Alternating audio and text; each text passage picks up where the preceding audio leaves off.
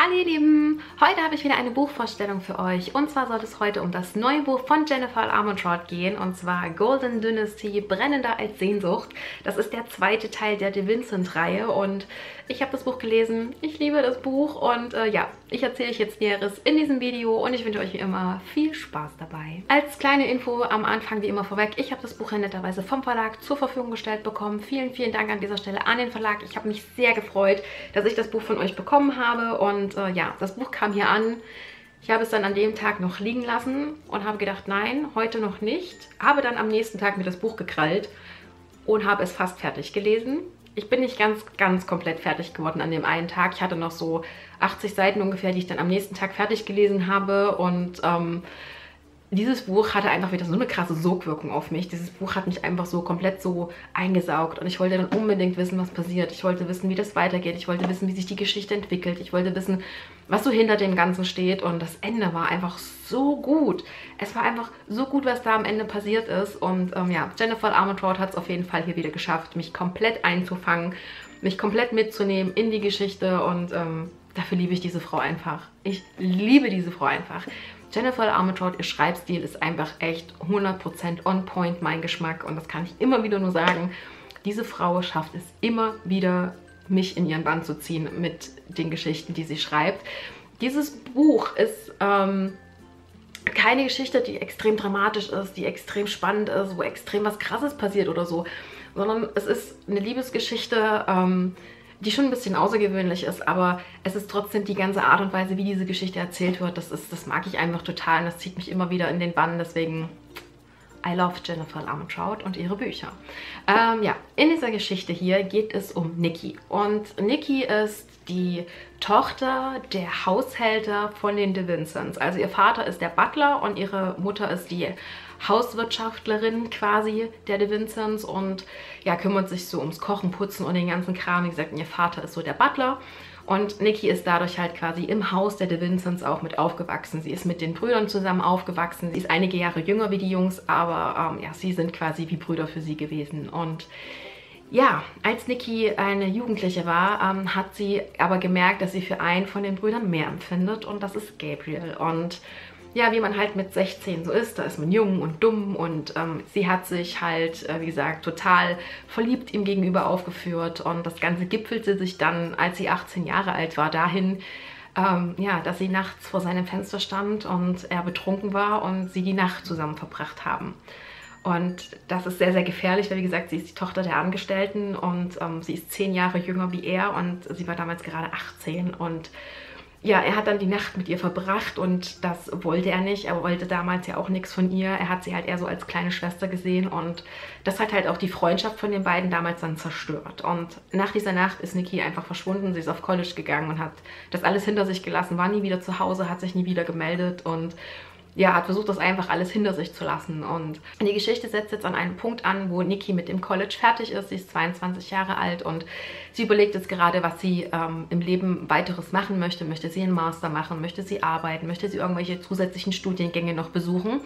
Und ähm, ja, die Frage stellt sie sich gerade und ähm, es ist so, dass ihre Mutter sehr schwer krank ist. Sie hat Krebs und Jetzt brauchen die De Vincents quasi eine neue Hauswirtschaftlerin und ähm, diese Stelle übernimmt jetzt Nikki für ihre Mutter, denn sie finden einfach keine geeignete Kandidatin und Nikki kennt das ja alles, sie ist ja damit aufgewachsen und groß geworden und ähm, sie weiß, dass sie da sehr verschwiegen sein muss und alles und ja, deswegen wird sie halt von Devlin als Ersatz äh, eingestellt und ja, ist damit dann wieder im Hause der De Vincents und es kommt dann natürlich so, wie es kommen musste und sie trifft dann auf Gabriel. Und Gabriel macht ihr eine übelste Szene zu der Sache von vor vier Jahren und geigt ihr da nochmal so richtig die Meinung und äh, verletzt sie da auch sehr und ähm, sagt ihr auch, was er von ihr hält und ähm, was er für eine Meinung von ihr hat und das ist nichts Gutes. Und Niki kann das natürlich ein Stück weit verstehen, aber sie sagt dann halt, hey, das ist vier Jahre her, ich war damals 18, ich war jung und dumm und es tut mir leid und ähm, ich würde diesen Fehler nie wieder machen. Und er sagt, ja, jetzt bist du 22, das ist nicht wirklich viel älter und ich glaube nicht, dass du dich da so verändert hast. Und ja, behandelt sie dann halt auch sehr, sehr mies. Und ähm, Niki versucht dann halt so damit umzugehen. Und dann ähm, entwickelt sich die Geschichte weiter und es gibt dann so einen ganz bestimmten Punkt in der Geschichte, da ändert sich das Ganze dann. Und ähm, ja, von dem Moment an verändert sich dann auch die Beziehung zwischen Nikki und Gabriel. Und Nikki muss sich die Frage stellen, Ähm, sollte sie nochmal Gefühle für Gabriel zulassen oder sollte sie es einfach sein lassen und versuchen, sich von ihm so weit wie möglich fernzuhalten? Und was mit den beiden im Endeffekt passiert, das ist es, worum es in dieser Geschichte geht. Ich fand die Geschichte wirklich toll, denn Nikki ist eine sehr, sehr taffe junge Frau. Sie steht zu ihren Fehlern und sie sagt, hey, ich habe Scheiße begangen und es tut mir einfach unglaublich leid. Und er lässt sie dann halt am Anfang so total auflaufen, was ich auch gut verstehen kann aus seiner Sicht. Und ich verstehe sie halt, dass sie sich dann auch so von ihm fernhält und ihn gehen lässt und ähm, also ich, ich konnte das komplett nachvollziehen, wie die Charaktere hier agiert haben. Es war komplett verständlich für mich und ich fand es halt einfach schön zu sehen, wie sich das Ganze dann verändert hat, wie sich das Ganze dann entwickelt hat, wie die beiden sich verändert haben und wie sie so Stück für Stück für Stück so ein bisschen auch immer mehr zueinander gefunden haben. Das war richtig toll zu sehen und ähm, ja, auch das, was an dieser Geschichte noch so mit drin vorkommt, fand ich wieder richtig gut. Es gibt hier wieder, wie im ersten Teil, so diese kleinen paranormalen Aspekte, dass Vorhänge wehen, Türen gehen einfach auf und zu, Gläser verrücken sich. Das fand ich schon wieder richtig cool, dass das in diesem Buch auch wieder mit aufgegriffen wurde und wieder mit drin vorkam. Das hat für mich wieder so diesen kleinen Gruseleffekt gehabt und ähm, ja, auch ähm, diese andere Geschichte, die da im Hintergrund noch erzählt wird, war richtig gut. Also es ist, passiert ja dann in dieser Geschichte noch einiges mehr. Es wird am Ende nochmal richtig krass und richtig übel und ich dachte mir am Ende so, what the fuck, was geht hier ab, Alter? Wie krass sind die denn drauf? Alter! Also nicht die De Vincent, sondern andere sind krass drauf.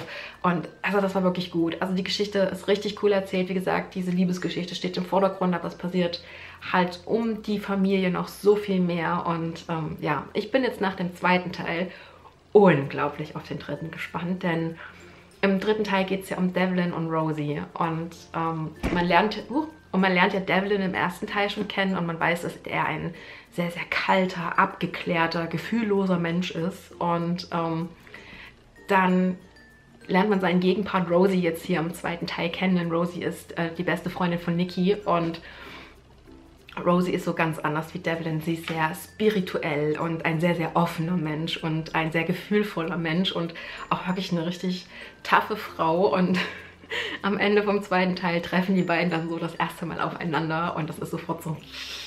Und ich dachte mir so, cool, bitte, bitte, bitte mach das im dritten Teil, dass das so weitergeht. Ich finde das immer so witzig, wenn zwei Charaktere, die sehr, sehr stark sind, sich dann so richtig angiften. Ich finde das einfach sehr unterhaltsam und ich freue mich, was das betrifft, jetzt auch mega auf den dritten Teil. Und ähm, ja, ich, ich bin da sehr gespannt drauf. Ich kann da echt äh, Ende des Jahres, ich glaube September kommt der dritte Teil raus, ich kann es nicht erwarten, den zu lesen. Ich muss den unbedingt lesen, der wird bestimmt so gut. Ähm, ja, aber auf jeden Fall hat mir der zweite auch richtig gut gefallen. Wie gesagt, die Geschichte von Nikki und Gabriel fand ich persönlich sogar noch einen Tacken besser, wie die von Lucian und Julia. Ähm, obwohl die von der Dramatik und dem Ganzen her dem nichts nachsteht. Also Jennifer Armentrout, die haut da immer Wendungen raus, wo du dir denkst so, meine Fresse, was geht hier ab? Und ähm, ja, ich finde die Reihe bisher einfach ganz, ganz toll. Ich freue mich auf den dritten Teil. Was den Inhalt dieser Geschichte betrifft, hat es mir gut gefallen. Was die Charaktere betrifft, hat es mir gut gefallen. Was das Setting betrifft, hat es mir mega gut gefallen. Wir sind hier wieder auf dem Anwesen der De Vincent in dieser alten herrschaftlichen Villa. Und ähm, die Geschichte spielt streckenweise auch noch in New Orleans. Und es ist einfach so cool vom Setting her wieder gemacht. Ich habe bei Jennifer Armentrout ja auch null Probleme, mir irgendwas vorzustellen. Das hatte ich ja noch nie.